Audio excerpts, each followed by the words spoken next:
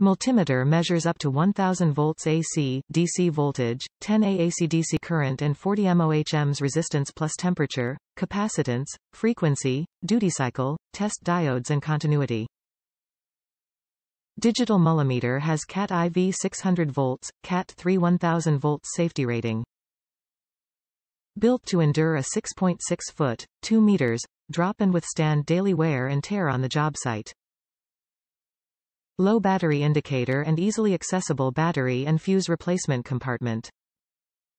For use in basic and controlled electromagnetic environments such as residential, business and light industrial locations.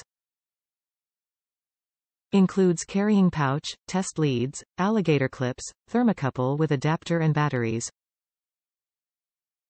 Top reviews from the United States. It's a good meter, but slightly annoying to get to DC volts for automotive applications. This meter seems to be nice quality and has an easy-to-read screen. My only real issue with it, is that I need it mostly for DC volts for automotive diagnostic purposes. I am used to a meter with separate selections for AC and DC volts. This meter has them grouped together. So instead of just clicking over to DC volts, you have to go to volts, then hit some buttons like four times and you are now at the volt range I need. It was frustrating at first, but now that I know how to get there, it's easy enough.